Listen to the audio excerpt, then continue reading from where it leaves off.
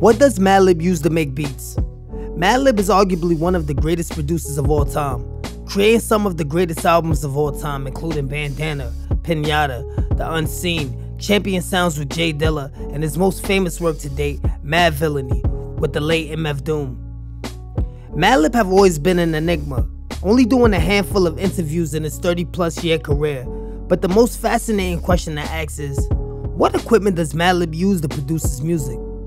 Today we will go over all the drum machines that Madlib have used over the years. Let's dive deeper. Madlib said that one of his favorite production machines is the Boss SP303. You can even see him using this machine in his YouTube video below. I did an in-depth study on his use of the SP303 for Madvillainy in his video above. One of Madlib's other favorite machines to use is the SP1200. He was seen famously holding it on the back cover of his collaboration album with MF Doom, Madvillainy. Also in his YouTube video, Madlib was spotted on stage with one. The SP1200 is one of those machines that you have to have if you're in the hip hop production, due to the amount of great records that came out of it.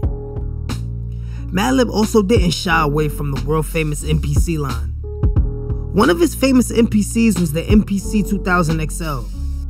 You can see him using it in his YouTube video alongside the aforementioned SP303. He also used the MPC 4000 to produce beats with as well.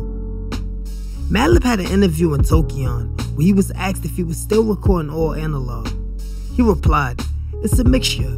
I keep my jazz analog, but it depends. I mean, I still use my SP12 and I've got an MPC 4000, but what I like the most is my little SP303.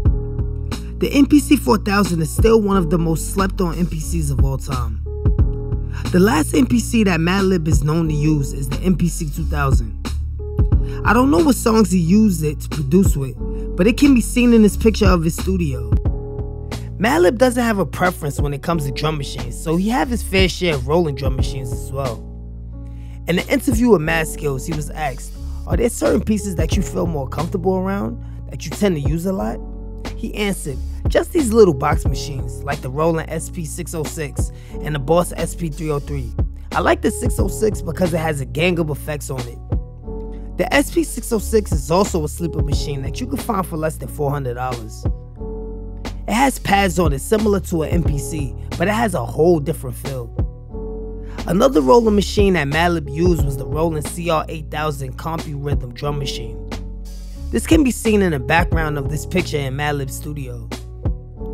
Madlib also used the Roland SP555 and the Roland SP404. You can see him use the SP404 in this picture of him producing when he was younger, and you can see him use the SP555 in this picture.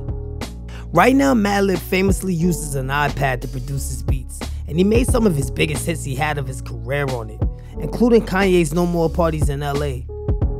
In the next part of this series, we will go over the keyboards and synthesizers that Madlib used over the years.